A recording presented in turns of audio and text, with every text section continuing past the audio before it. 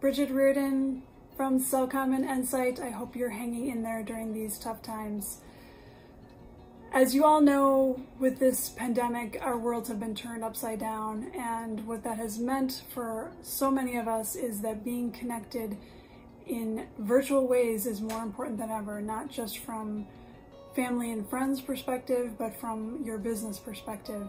And it's our job with uh, networks like ours to make sure that you have the connectivity that you need. And so we have, uh, we're always focused on the network and the health and the care and feeding of that network. Uh, but we're working even harder than ever right now to make sure that, that you stay connected the way you need to be. Um, we've shattered a lot of records, or you have shattered a lot of records with uh, the traffic that we're seeing on the network and the usage, and that's a great thing. That's what it's there for. Um, and we're happy to say that it's uh, functioning at a very high level. Uh, we're also always focused on giving extraordinary care to our customers, whether it's consumers or businesses.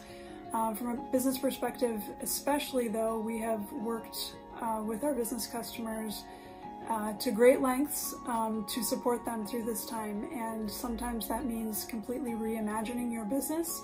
Sometimes that means um, providing things for people who are working from home or from different areas that they didn't have before.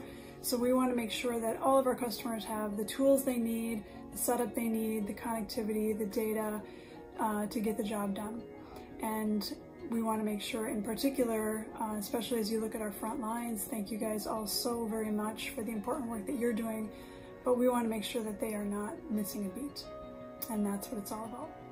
We turned 110 years old in March, so that means that our company and our communities and our customers, as we know, have been through hard times before. And it also shows us that we have been resilient and we will be again. Take care and we will see you all soon. Hi, I'm Bridget O'Connor, owner and founder of O'Connor Connective. I'm coming to you from our office in downtown De Pere. We're a strategic communication and marketing firm that helps leaders and organizations get results with communication. And we're continuing to serve our clients, most of us from our branch offices, if you will, uh, by providing communication marketing, PR, media relations remotely. Our training through our social enterprise, The Connective, we're doing virtually. So we are determined to continue to not let this pandemic keep us from helping organizations communicate. One thing that I've often admired and that the Chamber has invited me to share with you is a little bit about how great leaders have used rally cries during crisis. Straight talk with a call to action. It has the power to inspire us, to calm us, and to motivate us to be more than we thought we could be. Today, right now, during this time of uncertainty, what are you choosing to say as a leader? And how might you use your words to create cultural elevation? Cultural elevation at a time when your employees are desperate for leadership, clarity, and direction. Let me give you an example. Remember the 2011 Super Bowl? Of course you do. It was the year that the Packers beat the Steelers. They brought back the Lombardi Trophy to Titletown, uh, and it was just an incredible game. You might not remember the commercials as much because we were sort of distracted um, that year, uh, but it was the year of the imported from Detroit ad by Chrysler. It had the sound of rapper Eminem underscoring Detroit's unwavering ability to rise up following the auto crisis. And looking into the camera with a gospel choir behind him, Eminem said, This is the Motor City, and this is what we do. That line shot a bolt of pride not only through Detroit, but through the nation. Storytelling, your storytelling, your call to action is what will mobilize. You don't need a million dollar ad campaign and you don't need a world famous song, but your team needs your voice. Now is the time for you to find and then apply your rally cry. You might apply it through a call to action as your sign on or sign off at uh, team meetings, virtual or otherwise. Uh, you might share real stories of team members living out your words, whether they're on the front lines or working from home.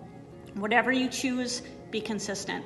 Leverage this moment as a time to intentionally lift up those around you to be more. to do more.